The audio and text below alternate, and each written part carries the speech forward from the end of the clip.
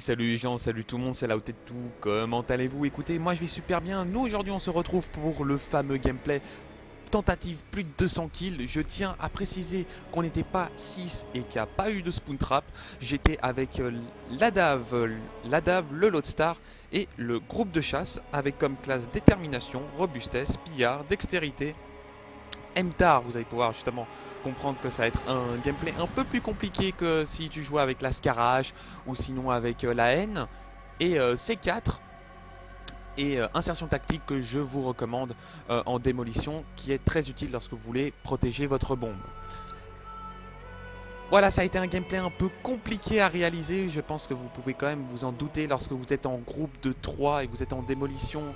C'est pas la même chose que si vous êtes en groupe de 6 lorsque vous, avez une facilité à bloquer les spoons. Et eh bah ben là, c'est pas vraiment le cas. Donc vous allez voir que ça a bougé partout, à droite, à gauche. Vous allez voir que quand je vais commencer à être en série, et eh ben je vais quand même un peu... un peu... J'ai un peu temporisé. On va pas se le cacher, lorsque vous tentez des plus de 200 kills, vous pouvez voir, hein, par exemple, Ozergun qui a fait euh, le, record FR, à un moment donné, il avait le record mondial. Il joue à la lourde, il bouge pas, il allume, etc. Bah, malheureusement, dans ce genre de situation, les plus de 200 kills quand tu rushes à fond, c'est très compliqué lorsque tu joues face à des très bonnes personnes ou si tu joues face à des teubés et que tu réussis ta game, bah, je te dis bravo à toi parce que franchement, tu gères. Voilà, sur le coup, je vais attaquer un sujet qu'on m'avait euh, demandé, euh, mais cependant, j'avais pas vraiment de, réel gameplay euh, pour comme comme comme fond. Et puis là, je me suis dit, un plus de 200 kills, Philippe, une tentative plus de 200 kills, c'est quand même assez intéressant. Il faut que tu attaques ce sujet-là. Alors, le sujet qu'on m'avait demandé de parler était comment devenir meilleur sur Call of Duty en général, hein, surtout les Call of Duty en général. Alors il faut déjà prendre trois choses en considération. Le brain, qui est hyper important. Les déplacements, qui est hyper important. il peut être considéré également dans le brain, mais euh, déjà il faut avoir des déplacements et après par rapport au brain, vos déplacements vont s'améliorer. Mais ça je vais en discuter un peu plus tard. Ensuite, et ça c'est hyper important, le shoot.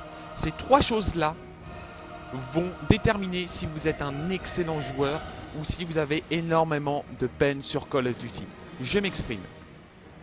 Vous avez beau avoir la meilleure arme du jeu entre vos mains, si vous n'avez pas de brain, si vous n'avez pas de bons déplacements, si vous n'avez pas de shoot, vous n'allez rien faire.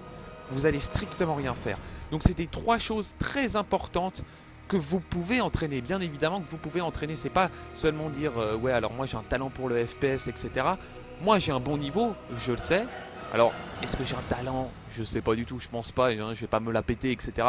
Je sais pas du tout, je sais juste que j'ai un bon niveau et qu'il y a des choses qui s'entraînent bien évidemment. C'est comme en DE, en DE tu, tu vas pas arriver la première fois disant allez, euh, je vais foutre une nuque à de Gotaga. Je fais non, euh, oh, tu rentres chez toi, je sais pas qu'est-ce que t'as fumé mon gars ou qu'est-ce que t'as pris dans les veines, mais c'était de la bonne. Donc, ces trois choses à améliorer si vous avez de la peine sur Call of Duty et je vais vous expliquer comment entraîner ça bien évidemment. Cela va de soi que vous pouvez que ça concerne également les snipers, euh, le couteau, etc. C'est vraiment avec tout. Donc on va attaquer directement par le brain. Alors le brain étant l'intelligence, étant euh, le, en anglais brain ça veut dire cerveau, ça veut dire avoir du brain, c'est avoir une certaine intelligence de jeu dans le milieu gaming. Et pour ça, il faut, on va dire, un peu réfléchir par rapport au déplacement de ton adversaire. Je m'exprime. Supposons que tu as un adversaire devant toi et qu'il y a un mur juste à côté, bien évidemment. Tu tires sur la personne et elle décide de décaler au niveau du mur. Alors tu as deux choix possibles, bien évidemment. Soit tu décides de temporiser pour qu'il vienne vers toi, ou sinon tu vas directement le rusher Cependant, la personne en face qui a éventuellement du brain, parce que la plupart du temps tu ne sais pas, va se dire Attends, il m'a tiré dessus, il y a plusieurs choix possibles, justement, ces deux choix-là. Est-ce que moi je vais le rusher? Ça veut dire que je vais sauter, je vais le strap jump, je, vais faire quelque chose pour le démolir? On lui balance, ça s'appelle un balayage, ce n'est pas un turn, c'est un balayage parce que le turn c'est pendant qu'il tire, bah justement tu as le temps euh, de, de faire ce qu'il faut. Tu as le temps de lui faire un balayage et ou sinon, je vais attendre pour qu'il vienne. Ça, ça s'appelle du brain. C'est-à-dire tu, tu penses qu'est-ce que ton, ton adversaire va faire. Tu, tu te mets déjà dans un futur esprit de dire comment je vais le buter. Comment je vais le buter. De nouveau un autre exemple. Sur, sur Raid, supposons sur Raid.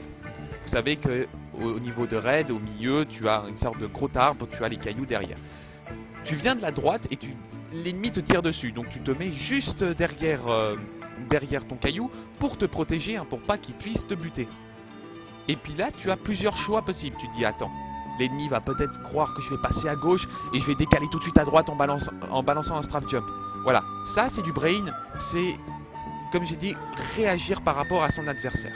Et c'est toujours très intéressant par rapport à ça, puisque chacun après a sa façon de penser. Après, c'est vrai que si vous affrontez 3 ou 4 fois le même mec et qu'il a toujours le même brain, ça va plus marcher. Donc réfléchissez par rapport à ça. Ensuite, on va attaquer les déplacements.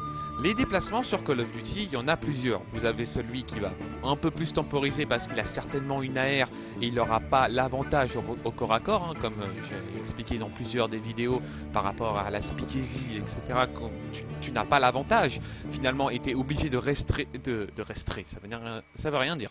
Rester en retrait par rapport à ça, et finalement, bah, les SMG où tu attaques au corps à corps, etc., où il faut que tu essayes de gagner euh, des duels plus facilement, par exemple à la Scorpion, où tu es obligé d'avoir un certain corps à corps, un certain cac, on va dire ça comme ça, cac, euh, pour finalement faire quelque chose. Et vos déplacements vont aussi dire long par rapport à, votre... À votre style de jeu. Ça veut dire que, comme j'ai dit avant, si vous avez une AR, la plupart du temps, vous allez temporiser. À moins que vous êtes en hardcore, vous jouez avec la haine, mais ça, c'est encore autre chose. Alors là, je tiens à préciser, puisqu'on va me dire, ouais, tu campais un peu, etc. Là, écoutez, comme je vous ai dit, je suis en plus de 200 kills, je savais qu'ils allaient poser la bombe. Justement, c'est ce qu'on attendait, qu'ils posent la bombe, comme ça, la partie dure plus longtemps. Voilà, par rapport de nouveau au déplacement, c'est toujours comme j'ai dit, ça, dépend après hein, de vos armes, etc. C'est vrai qu'un sniper ne va pas se comporter comme une SMG, euh, une AR ne va pas se comporter comme un pompe, une lourde ne va pas se comporter de nouveau comme une SMG. Tout dépend vraiment de vos, de vos déplacements. Aussi, euh, le couteau, le couteau, tu vas pas arriver en plein milieu du mec en mode bourrin, vas-y, euh, je vais te défoncer la gueule. Le mec il fait, attends, attends, deux ou trois coups de scarage, je vais te calmer un peu, mon coco.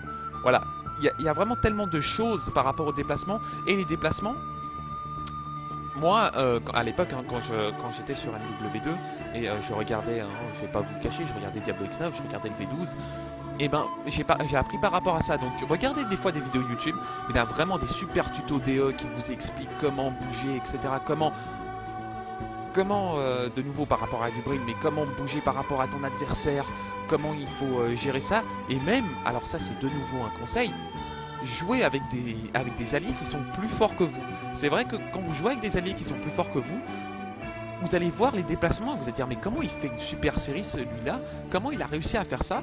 Et tu regardes par rapport à ce qu'il fait. Tu te dis attends il a fait un déplacement intelligent là, il regarde euh, tout de suite là par rapport à un certain pré-shot. C'est assez intéressant, je vais regarder. Et c'est vraiment, vraiment tout bête, mais la plupart du temps, les, youtubeurs, quand, même moi, hein, quand, même n'importe quel youtubeur, quand tu as commencé Call of Duty, tu, copies un peu, tu copies un peu les mêmes déplacements, par exemple les spoon kills, les spoon par rapport à Overgun, à d'autres encore youtubeurs qui ont voulu faire des scores mais de psychopathes.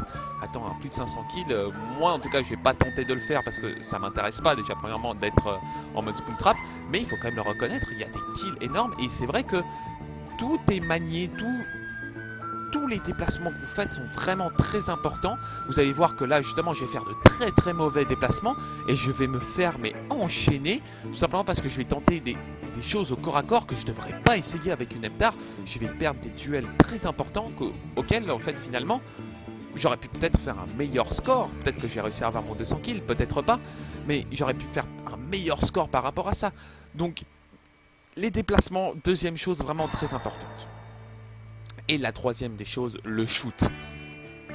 Le shoot, même avec vos déplacements, même ce que j'ai dit, je vous ai dit, c'est vraiment les trois points essentiels. Hein. Je vous ai dit, si vous avez beau avoir du shoot, vous avez beau avoir du braid, si vous n'avez pas de déplacement, vous faites rien. C'est exactement la même chose après. Si tu as du déplacement, tu as du shoot, mais t'as pas de brain, ça sert, sert à rien du tout. Et là, c'est exactement la même chose. Par rapport au shoot, vous en avez besoin du shoot. C'est que ça dépend c'est ce qui va... Ah, je vais y arriver. C'est ce qui va faire de vous un excellent joueur. Sérieusement, si tu regardes les vidéos de Kotaga, les vidéos des, meilleurs joueurs compétition Call of Duty, ils ont un shoot de taré. Faut le dire, hein, moi euh, comparé à eux, c'est de la piste de chat. C'est vraiment de la piste de chat.